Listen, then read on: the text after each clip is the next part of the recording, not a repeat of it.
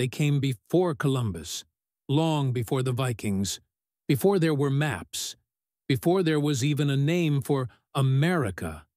Across wind-swept glaciers, through frozen corridors, they stepped onto a land untouched by humans. For decades, scientists thought they knew the answer. They said the first Americans crossed a land bridge from Siberia around 13,000 years ago. That was the story. Neat, simple, wrong. Because then came the bones, scattered in ancient caves, hidden under layers of ice and time. Some dated back 15,000 years, others even older. But they didn't match the expected DNA profile. Who were these people? Where did they come from? And why does their genetic trail point somewhere unexpected? Now, thanks to breakthroughs in ancient DNA extraction, the truth is coming into focus.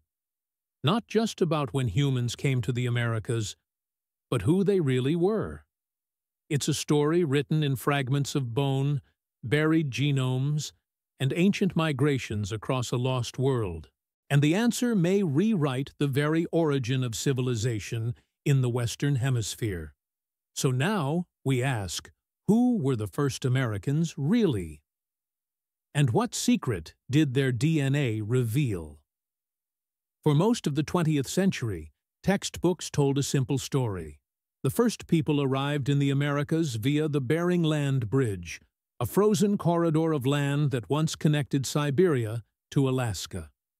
This migration was believed to have happened around 13,000 years ago during the final stages of the last ice age. These early settlers, known as the Clovis people, were long considered the original inhabitants of the continent. Archaeologists pointed to their distinctive stone tools, razor-sharp, fluted spear points, as proof. Sites like Blackwater Draw in New Mexico became holy ground for this theory. But even as this story solidified in classrooms and museums, cracks began to form beneath its surface. Evidence started to emerge from places far outside the expected migration routes. Monte Verde in Chile, a site dated at over 14,500 years ago. Paisley Caves in Oregon, with coprolites, fossilized human feces, dated to nearly the same period. These discoveries didn't just stretch the timeline, they shattered it. Because if people were already in South America thousands of years before the Bering Corridor opened, how did they get there?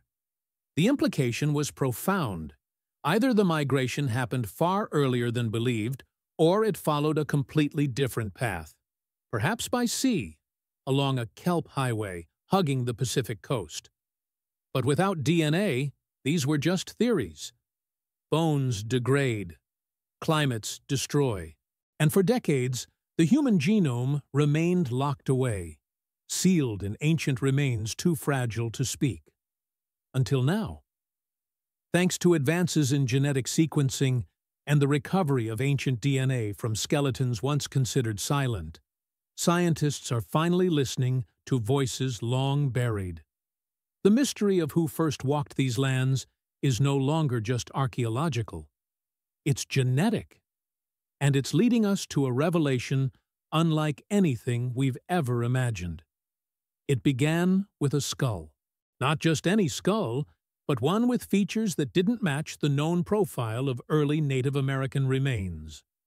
In 1996, along the banks of the Columbia River in Washington state, two college students stumbled upon what they thought were old animal bones. But what they found was far older, far more human, Buried just beneath the surface was a nearly complete skeleton, male, around 40 years old at death, with a cracked skull and severe injuries that suggested violence. Radiocarbon dating would later show he lived over 9,000 years ago. He became known as the Kennewick Man. But his face told a different story. Unlike the rounder skulls of modern Native Americans, his cranium was long and narrow, resembling the ancient peoples of Polynesia or even Japan. Theories exploded. Was he a lost mariner from the Pacific? A forgotten branch of humanity? Initial attempts to extract DNA failed. The bones were too degraded. The science not yet ready. Worse, the discovery sparked controversy. Native American tribes demanded reburial, claiming him as an ancestor. Scientists filed lawsuits to continue the study. For nearly two decades, Kennewick Man lay in limbo between politics, belief, and the limits of technology. But as other ancient remains surfaced, some even older, the mystery deepened.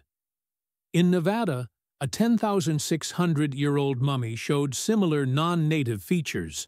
In Brazil, skulls resembling those of Australian Aborigines hinted at a radically different migration pattern. These weren't isolated anomalies.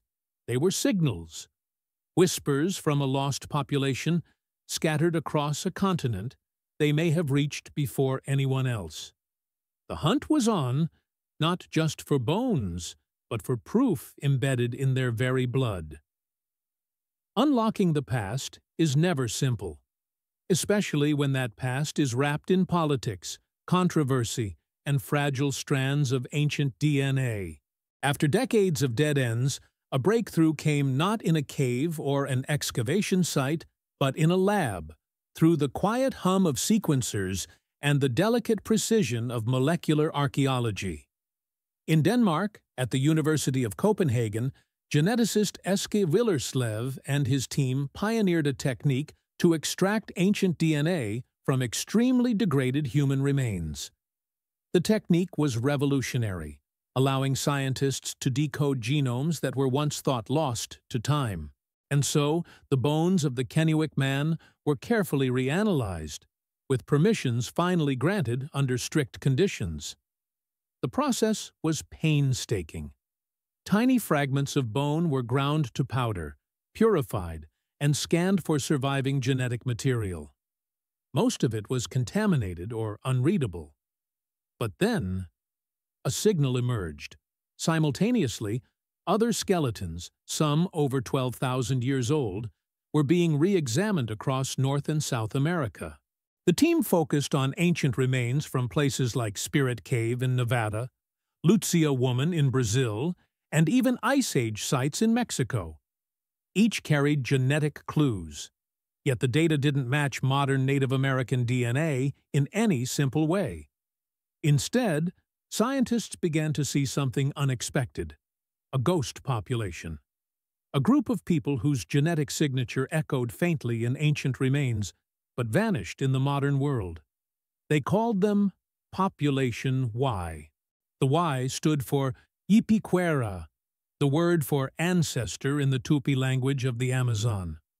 These people shared some traits with modern indigenous groups, but also with populations in Southeast Asia and Australasia suggesting a possible connection to people once thought to have never reached the Americas. The implications were staggering. Could early humans have crossed the Pacific thousands of years before recorded history? Or had multiple waves of migration carved different paths into the continent, long before the ice melted? The scientific community was split. Some dismissed the findings as contamination. Others argued for convergent evolution, but, as more genomes were sequenced, the pattern held. Something was missing from the traditional narrative, and ancient DNA was beginning to show what archaeology alone could not. The moment came quietly. In a high-security, clean lab, under layers of sterilization protocols, a technician stared at a sequence blinking on a monitor, one that had never appeared in any known Native American genome the DNA recovered from the Kennewick man, after years of legal battles and scientific doubt, told a story that no one had fully expected. Contrary to earlier assumptions based on his skull shape, the genome showed a clear ancestral link, not to Polynesia or Japan, but to modern Native American tribes, specifically those from the Columbia River Basin. The facial features had misled generations of researchers. The truth was in the blood. But the real shock came from comparisons with even older remains. Samples from the 12,600-year-old Anzick child, buried with red ochre and Clovis tools in Montana, revealed a genome closely related to the Kennewick man and to populations from Siberia. This supported the idea of a Siberian origin, but it wasn't the full story. Because then came the Luzia woman. Her skull, found deep in a Brazilian cave and dated at over 11,000 years old, looked nothing like the Anzick child or Kennewick man. And when scientists managed to retrieve fragments of ancient DNA from similar remains in South America, they found a trace element, small but consistent, of Australo-Melanesian ancestry. This ghost signal had no obvious explanation. It didn't match any known migration model. And yet, it appeared again, in the genomes of some isolated indigenous groups in the Amazon rainforest. The Yanomami, the Surui, tribes with no historical contact with Australasia. It was undeniable, a distant connection, stretching across oceans and millennia. This wasn't contamination. It was real, verified by multiple labs, cross-checked against control samples, published in peer-reviewed journals, and it forced the scientific world to accept a new reality. The Americas were not peopled by a single wave of migration. They were a mosaic, a complex, layered arrival of multiple human populations, some from Siberia, others possibly from coastal Asia, and perhaps even a seafaring people from lands much farther away than anyone had dared to imagine. Picture it. A world frozen in time. The last ice age still clutching the northern hemisphere in its icy grip. Towering glaciers block the interior of North America, while sea levels sit nearly 400 feet lower than today. The continents look familiar, but also alien. Coastlines stretch farther. Islands connect where oceans now divide. And into this strange world, the first footsteps fall. They are not a single tribe, not a unified people, but waves, ripples of humanity flowing across a fractured world. One group moves east from Siberia, following herds of mammoth and bison across the Bering Land Bridge. The air is sharp, the sky endless. These are the ancestors of the Clovis people.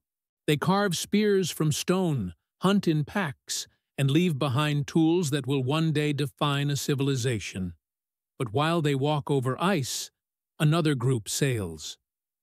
Along the Pacific coast, perhaps in small rafts or canoes, a seafaring people hug the edge of the world. They survive on kelp forests, fish, and shellfish. Their journey is silent, slow, and patient, stopping on islands, moving with the tides. They may have come from coastal Asia, Taiwan, or even the shores of ancient Indonesia. We don't know their names, but their descendants would leave genetic whispers in the Amazon, in the Andean highlands, and in the bones of Luzia. Far to the south, perhaps even earlier, another migration unfolds. It is not certain how, but the traces remain. In skulls shaped like those of Australian Aborigines, in DNA strands shared with Papuans, and in the oral histories of tribes that speak of ancestors arriving from the rising sun. These people might have crossed the Pacific in ways we still struggle to comprehend, were they driven by curiosity, hunger, storms, or were they following stars that have since vanished from our sky? Together, these groups, diverse, scattered, resilient, peopled a continent once thought untouched. They hunted megafauna, built sacred sites, and passed down languages, myths, and genes that would shape the New World. What we call America today was never discovered by one people. It was arrived at, again and again, by many. The story of the first Americans is no longer a straight line. It is a maze of ancient paths, lost voices, and genetic fingerprints hidden in the dust of forgotten ages. For centuries, we believed the land was empty until 13,000 years ago. Now we know it was filled with movement, with lives, with migrations so ancient they stretch the limits of our imagination. Science has peeled back the layers of myth and theory to reveal something far more powerful. Truth. A truth written not in stone or legend, but in DNA. That fragile, miraculous code that outlives time buried deep in bones left behind by those who walked before us. The idea that the Americas were settled by a single wave from Siberia has crumbled. In its place stands a new understanding, complex, beautiful, and still incomplete. These lands were shaped by explorers, travelers, survivors from across the globe, from ice-choked plains in the north to wind-swept oceans in the west to the dense jungles of the south.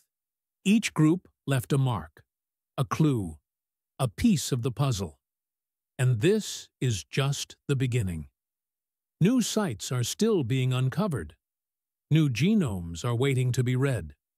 The next piece of ancient DNA might come from a cave in Alaska, a tomb in the Andes, or a forgotten grave in a riverbank in Brazil. And with each discovery, our understanding of who we are and where we come from deepens. This is not just about the past. It's about identity, ancestry, and the shared human story that connects us all. We are the children of migration, of survival, of curiosity that spanned oceans and epochs. If this journey fascinated you, don't stop here. Hit the like button. Subscribe for more incredible stories at the intersection of science, history, and mystery. And if you want to dive deeper into the secrets of ancient civilizations and the breakthroughs of modern genetics, explore our other episodes. Because the past is not gone. It's just waiting to be uncovered.